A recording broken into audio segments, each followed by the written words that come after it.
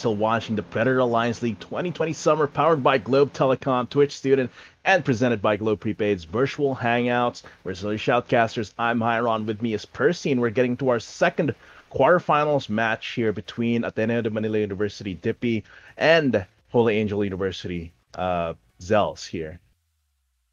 Ah, Band Warrior. Yeah, both both of these guys banned Warrior here.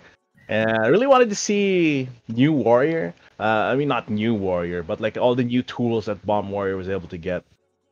It's Bomb Warrior. It's it's it's my specialty. It's my jam. It's gone. Yeah, I understand why. Like both of them banned Warrior, but yes, like this is the inevitability of it. Uh, just I mean, it is literally a ticking time bomb, especially with the new uh, with the new tools that they got. Uh, able to like up the durability on that Wrenchcalibur, just put in more bombs in the deck. But of course, we are gonna see uh, versus Dippy here. It is going to be the priest on Zels with Dippy on that rogue, and of course, we are we do have our chat rally for this Predator Alliance League 2020 Summer quarterfinals game. Just share this. Uh, oh, just uh, make some noise in the chat uh, with the hashtags globe uh, hashtag globe prepaid virtual hangout or and with the team or in school you're supporting. This is hashtag how win or hashtag LG win for Admu, and this is going to be quite exciting. I mean, this is going to be an aggro uh, face rogue here, a weapon rogue here coming in from Dippy against a priest. That's going to be tough. Well, I would actually say the opposite because as long as Zeus gets his what Breath of the Infinite, he's Mm-hmm. able to stabilize early game. He'll be able to stave off most of the pressure from Yeah, yeah. shields and Yeah, I mean, tough for the rogue rather. yeah. I do see some lines where Yeah. both of the players still have, uh, you know, problems with dealing their own threats, dealing with the threats, and then just dealing the damage to finish the game off. But overall, of course, we have to favor the control deck over Yes, definitely. aggro. Solo, I do see a lot of ways that Dippy can like get in, get into this, and take out Zels. He is going second. Uh, does have that coin to enable some combos here. Um, it's gonna be. Let's see. Let's see how this all plays out. Yeah, and you can just spy with the backstab pickup.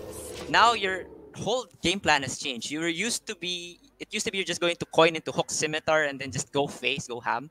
But now you can consider to coin Greyheart Sage for next turn and then backstab scimitar the next. Pretty good. Yeah, that's actually pretty good here. Let's see what Zels picks up. Uh, they're quite expensive. Oh, Not gonna lie. well, Uh, it it confirms that you'll have a dragon in in your hand. Oh.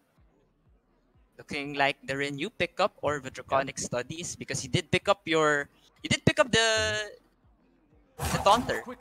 So that if you play True, the true. Draconic uh, if you play But it seems like the Draconic- renew is the pickup here. It just ge- needs to get that HP and a future discover spell as well.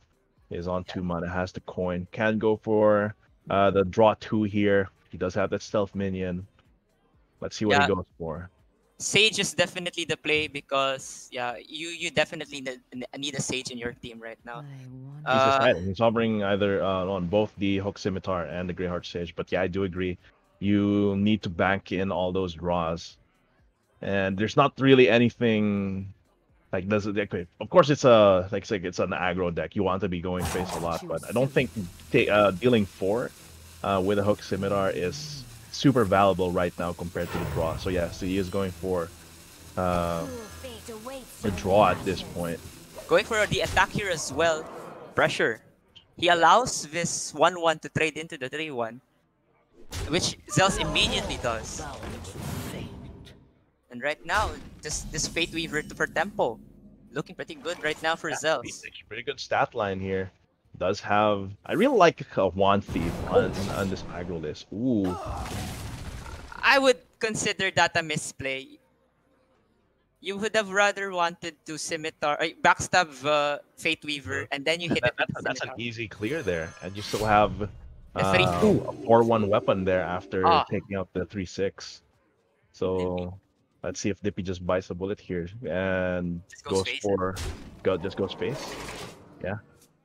Oh, saves the weapon charge as well. So that's the line of thinking that he's going through. Okay. It's okay if he uh, trades a three six or takes away my three, uh, three but that's gonna be two uh, thick minions on the side of Zel's here. That's gonna be quite tough for Dippy to handle. He does have deadly poison uh, for that six. That's is gonna be. Look at that cutting class Oh, into another cutting class. Easy clap here coming in from Dippy. Let's see what he gets off the top. and just stealth minions. Yeah, I think Yeah.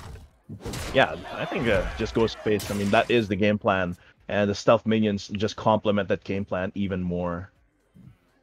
The renew, This This, uh, just first off, renew and not going for the Spellkins here Mhm. means that Zels is pretty scared of what Dippy has in store for him the following turns. has to be wary. Uh, that health is going to help him quite a lot here. 21. Mm, it's still, it's still not in the super Monka S range here for the priest, you know. But Dippy, he's gonna keep going. He does have eviscerate. Has the wand. I really like the wand thief, right? Like, fireballs. uh, get these fireballs out. And, And this, if you- and this yeah. unsounding souls just copy this Fate Weaver so that it- Mhm. from one three six you have two three sixes and then I have three three sixes, but erase that here. On Hyra. wings of destruction. Discover a they spell from his deck here. Oh, Ooh, Breath of the Infinite uh, here. but Can he clear have out the these. Yes, he does. he Yeah, does yeah, have yeah. mana for it. This is pretty good. Takes away the. That's basically five. Uh, heal, heal five, right? Uh, It's for more of the. heal two because you did take three damage from the. Oh yes, yes, yes, from the raised bed. But still, has a quite solid board. Let's see what the wand thief takes. Oh, None, uh, do you want to mirror entity here mhm. and play it for next turn? I mean, yeah, it goes for Barrier. ice barrier. So he is thinking that okay, maybe Zels might, uh, like maybe outrace him. He does have a couple of uh beefy minions on Zell's side of the board. Blizzard as well. So he's getting these uh, little panic buttons here for Dippy in case that Zels is uh, starting to get overwhelming. And of course, if if they're frozen, they can't trade into your minions. I guess that could be one way of thinking about it as well. Yeah, all of the damage counts, no matter how small, how big. As an aggro deck, you need that's your resource, health. Mhm. It's bo- both your Hmm. opponent's health, your opponent's minion's health, your own minion's health, and your own, your hero's health. It's definitely a resource that has to be taken into consideration into consideration when you're playing an aggro deck. And Yeah. Dippy is looking like a disciplined player, in a, well versed to know these basic principles. Let's see. This I next wonder. fourth, six. Yeah, Sleeping Soul into just heal, trade off everything. Yeah, I up think healing because right now, with eviscerate, dagger into deadly poison into sinister strike, that's ten damage. So you need to get out of that range here Wait, for Zell. is, this is 10 damage on Oh. the hand. Yeah, ten from- damage on hand. Oh my goodness. This Oh, is- he doesn't quite have. He doesn't have quite damage- enough. though. Wait, 10 damage in hand. Yeah, it doesn't have Wait, quite enough to both dagger. 10 damage in hand, dagger. This is default. Is 10 damage in hand, the dagger, hero power. Sinister strikes coming in clutch Right, here. yes, sinister strike. we go. Oh, there we go. through. Dippy finding the lethal to take to just steal Wait, game can- one away from Zell's clutches off of the three Fate oh Weavers. yes, yes. I forgot. About, passed my mind that the stealth minion was still a thing. yeah, yeah. yeah. Yeah, because Zels wasn't. it- Uh, I was thinking, okay, Zels can't keep this three-one alive, but he didn't have anything to deal with it. So that's really the strength of this rogue here. That that once you get the initial damage in, you have these stealth minions. One thief didn't really give him anything super aggressive, but with the sinister strikes, sinister strikes in with the eviscerate as well. That's enough damage, and that's all. You have to always be careful with the rogue here. But of course, the because of the format that we're not going to be seeing that rogue again in this best of three. It is going to be the druid. Let's see what Zels picks up for the next game. yeah, some some shadowy goodness here for the rogue. Like y- as you mentioned, you did not see the three one there. It was definitely hiding in the shadows, like waiting for lethal to Oh. happen. That is the strength. Stuff from Of the stealth- caster. Yeah, I, I, I was too fixated on the hand. Like, okay, let, let's see this three one. It's definitely gonna get cleared, right? That's some. Uh, yeah, yeah. And okay, so I was thinking six mana. That's not enough, but then I forgot. Oh, three, three, three, three attack stealth minion. Yeah. Going cl- coming clutch. Uh, for uh, for Dippy there. Let's see what uh, yeah. picks up for the next game. So it is going to be Dippy on the Druid and Zels on the Priest. This is going to be different from the druid that we saw a while ago from Mhm. Splash. It is actually uh, Animal Druid, isn't it? yeah. Yes. And Beast this druid. is uh while we're waiting for the game to start, we let's check out the bracket again. Mhm. How we and how we got here basically with e- with everyone just uh playing their hearts out and getting just getting some good cold clean uh hmm, whoa some crisp clean Yeah. locks formats with everything I- And every game that we've had uh, in these matches for just from quarterfinals has been very, very exciting, very dynamic as well, especially in the previous match, all that back and forth with the top decks. Uh, very exhilarating to watch, and it's always nice to see uh, Priest ta- uh, get taken down a notch by a face rogue. Yeah, you would say that this is the one of the more menacing effects of the meta because it's Yeah. control. It's very you don't want your opponent to play. And whoop, we did see the Kael'thas there.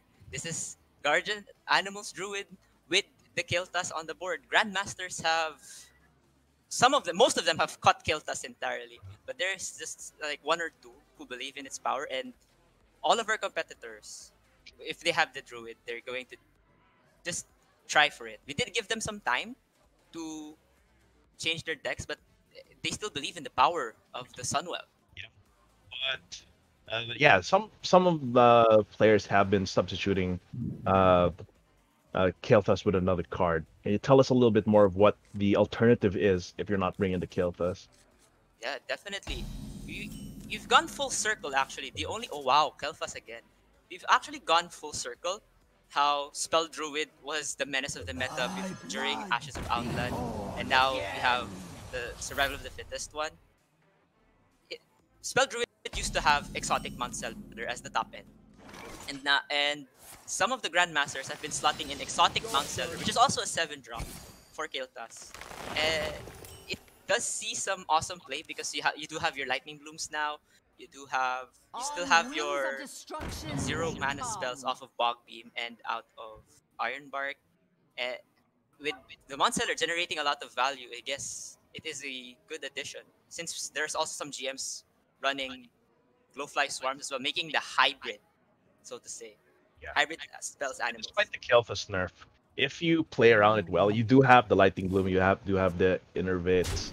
Uh, it, you can still like cheat out those cards uh, at one mana instead of zero, and it's still very very potent here. Of course, Dippy going for the ramp. It's gonna be quite um, health, uh, quite healthy going into this game here, but this Yeah. priest working to This hamper that game plan. He has to go somewhat aggressive here. Like he can choose the apotheosis so that he has board pressure. He can coin out the Fate Weaver. I don't really like the coin here, but because you'd rather want to coin into your Allura. But let's just see how this goes. Seems like he wants to uh, pressure Dippy here a little bit. Of course, his teacher's pet gonna put a hamper on those plans as well. Four five, a pretty solid bidding here coming from Dippy. This is like I like the, and it is gonna be the survival of the fittest in two turns. If he picks up a lightning bloom, that could be the very next turn here. Cobra. But Zell's putting out a lot of pressure here. Five five lifesteal. And the Rindu. And, Yeah, the renew as well, just to keep it top, uh, almost topped off. Suddenly we're tempo priesting here. Mhm. Yeah.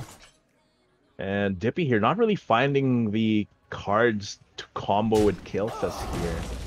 Uh, he does at least have more than seven mana crystals at this point, so Ironbark, Bog Beam, uh, they are gonna be discounted, but it doesn't have him on hand. So close to that uh, survival of the fittest. Yeah, but with the lack of draws from Dippy's side, he does he has ramped quite considerably, but that ramp is at the cost of pure nothingness. Mhm. It's gonna be Like, we're really hard for basically to come ramping into nothing. Must Yeah. I mean, it, it has happened most of the time when during the olden days of Druid, where you would like wild growth into another wild growth, and then you you basically did nothing the next turns. because you're just setting up for your Force of Nature Savage Roar combo. Hmm. Yeah, so he's gonna go into the Ysera here. 412 beefy minion, get some dragon value inside of that deck. Uh, just to invest in the future here. An Iron Right, Bark, yeah. so that it contests with the Fate Weaver, but it's prone to the Shadow Word death. Yeah, that's the thing though. Four is like the magic number against priest, and you basically o- opened yourself up to an instant shadow word death. I'm like, wait a That's a good second. night. That's a good Yeah. night for Weaver. Oh, you hate to see it, but of course, as the priest, you definitely love to see your Shadow Word deaths that Yeah. don't cost three I- mana anymore. I, I really think Dippy should have like that should have been at the back of his mind. If I buff this minion, am I gonna get punished for it? I mean, four is the magic number. Yeah. Uh, but here it seems like it's heavily punished, and Zell's just keeping the advantage here. Yeah, because probably Dippy was considering that. Whoa, nature studies not get, getting anything useful. This looked like an easy GG, I guess, for Dippy. Just uh, bounce back from the losses, hopefully.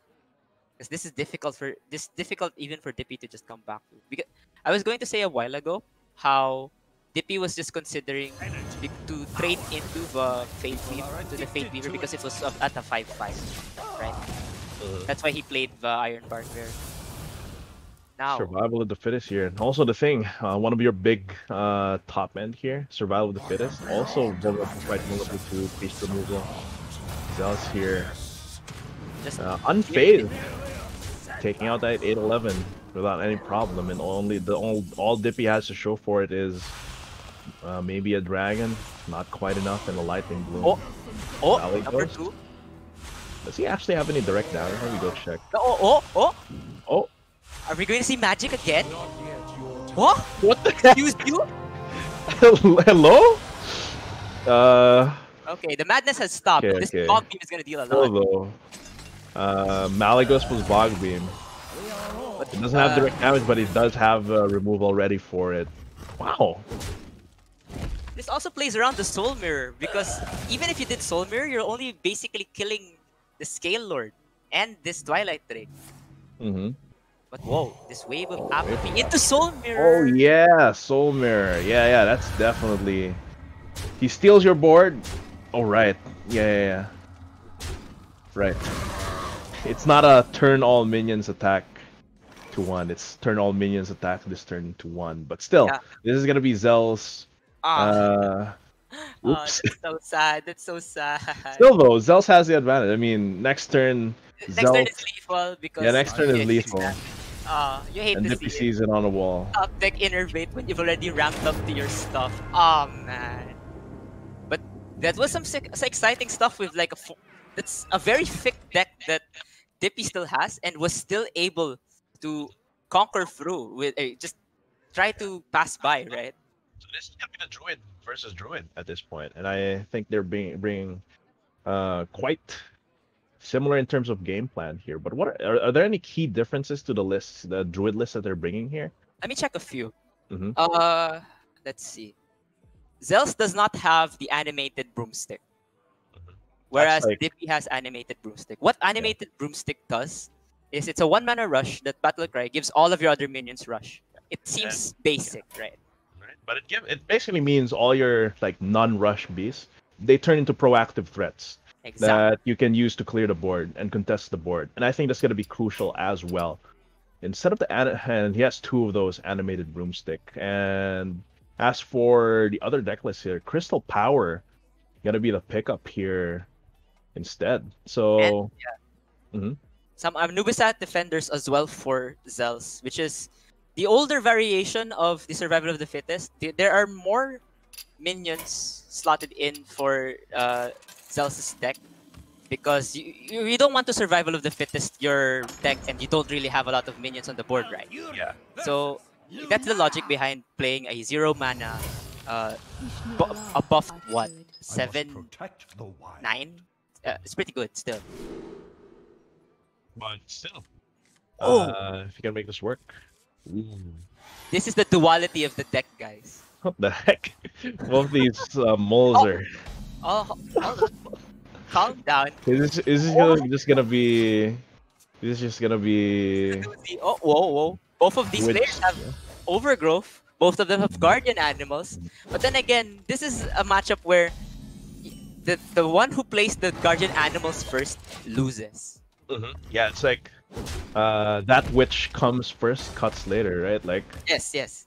uh, that basically you pull the trigger. You don't have anything to rush into. That gives dip. Uh, that gives the opposing player the initiative uh, on their guardian animals. So it's really this is really a precarious matchup. Uh, this mirror is really interesting to look at because uh, all the decisions that come into play, when to pull the trigger, when to uh, play into your uh, combo as well, like who gets to that point first, and th- these ramps are very very crucial. But both of these players do have access to it. Overgrowth. Yeah, very balanced looking game right here, unlike the last game. And from them being playing this deck conservatively shows that they know how the mirror plays. It's on Because- seven. He's eyeing the guardian animals. Maybe But- you'd rather just play your Twilight Runner now. Yeah, it's stealth, and that basically means if Dippy goes for the, uh, the guardian animals himself, so he Ah. goes for the guardian animals. Here. Gets the teacher's pet. Uh, nothing to rush into quite yet. Let's see what uh, Dippy responds to this with, because he can go with your own. Uh, Oh. But he does have a lot of uh, spells here. Has the coin, has a bog beam, can go straight into maybe Uh, Guardian Animals, of course. yeah, guardian animals. No survival of the fittest uh, quite yet, but still, uh, as you said. Whoever yeah, whoever pulls out the uh, the guardian animals first, blow. Uh, I don't want to say blows his luck. Uh, already basically puts his cards on the table, right? And Yeah. that allows Dip, uh, the opposing player to respond. And here, Dippy gets the initiative. He gets the Yeah. clear two with a four six cleave. Zels definitely misread the situation here, Mhm. where he has useless cards in his hand. He chooses the what he chooses the card that is more reactive than proactive, and I would say gets punished for it. Yeah. I mean, yeah, that's really tough. Also, just the fact that the Kael'thas was there means that Dippy gets a lot of value from his hand. So let's see. How does Zelska get back here? He does have 8 mana. It's got to be tough. Yeah, two innervates. Should Uh, have your Twilight Runner a yeah, while. earlier. Now you might have to hero power into the Tilta so that it doesn't go out of Kind of feels bad. And this puts Dippy in quite a good position. Though neither of these uh, neither of these like super uh, super big like their health totals uh, it's de- definitely still about who can keep getting more value out of their cards right Yeah, definitely. And I'm checking chat right now, and someone's asking if My b- b- if Dippy and Zels have the same number of pieces in the deck as the Sericus come into play. Uh, let me check here that Dippy has six beasts, including two Lake Threshers, two Teacher's Pets, and two Turret Runners, whereas Dip, uh, Zels only runs five with only one Lake Thresher. But this is a good combo in itself, right? Shuffling Yeah. your Dream Portals and then you attack with your Twilight Runner. Good stuff. you draw into them. Perhaps you get an even super like super solid board. But i really I, I don't know. This i really like how this matchup plays out. Beast druid versus beast druid. It's, a, it's combo versus combo stuff. So it's it's all it's always pretty good to see uh, that no one's it's like playing fair as Sir Leo does say. Like the, the, uh, minions bumping into the minions, no shenanigans over here, no silences, no transform just- mechanics. yeah just beasts and dragons just punching each other out survival of the fittest the most adaptable uh, druid player wins the day here this 515 is Ysera quite beefy no shadow word death around uh, to ruin her day Yeah. I think uh, so far, even with Zels getting heavily punished early, it seems like he's still in a pretty comfortable situation at this point. Dippy does have the animated room, uh, can get the rush in if he needs to get like that cleave with the Lake Thresher. Of course, Guardian Animals just a good pickup overall, pos- possibly. Yeah. So uh, again, I did mention that Tippy has six beasts, so I think this still brings out Oh wait, I missed count. Only one? He had a spent a while ago. Oh yeah, he already pulled out the earlier. So seven mana, draw one, draw a four five and play it. Uh, not and summon it. Uh, Ah. it's not too bad, but it's definitely not as valuable as is usually. Speaker Gidra is gonna be out here. Lots of. Uh, looks like Zels is in a pretty comfortable situation despite the earlier blunder. I, I definitely because he has the Ysera in play, whereas Dippy still doesn't have the Ysera. That is the secondary mechanic of the Guardian Animals Druid. Yeah. And if you don't have your secondary condition after you've played your primary condition, you have played both of your Guardian Animals, then Let's see. you're starting to feel the heat. It's gonna be tough. Super, super tough. Ah, I see. And here I here I was thinking this is gonna be like a Ateneo de Manila University day, right? Like uh U Splash coming out c- clean, uh Dippy looking strong earlier. Now though, it seems like Zels is putting the pressure. This Gidra could um could mean a lot here for Dippy. Though as long as that uh Twilight Runner is stealth, it's gonna be tough for him to take that one out. There we go. Survival of the fittest. But would you consider Still, that though. because you're going to run I into your opponent's survival? Yeah, right? Like 10 mana, do nothing.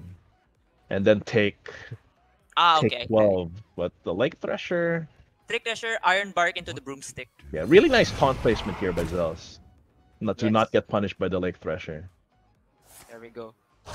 And he does know the broomstick is going to be played. Yeah, that's why I like the broomstick a lot from Dippy. You know, it basically lets your five nine. It's like a swipe. It's like a swipe. Yeah, yeah, yeah. Uh, or it's, it's a it's a cleave effect. And at this point, because of the the way Zell's position, it's not as valuable, but it's still clearing two threats on board here. If he Exactly. puts it Does out. not count Dippy out of the woods. I mean, out of the game. I'm sorry. Uh, he can just overgrow for next turn so that he he has more answers on the board. He can even choose to keep the excess mana right now, Mhm. which he does because it's going to be an activator for Kael'thas if he gets it in the following turns. Whoa, interesting choices here. Ironbark Gift of the Wild, more buffs. The, the bigger your minions are and the faster that you get them off the board, it's going to be the decider for this matchup. Ironbark is just like free play, right? Like zero mana.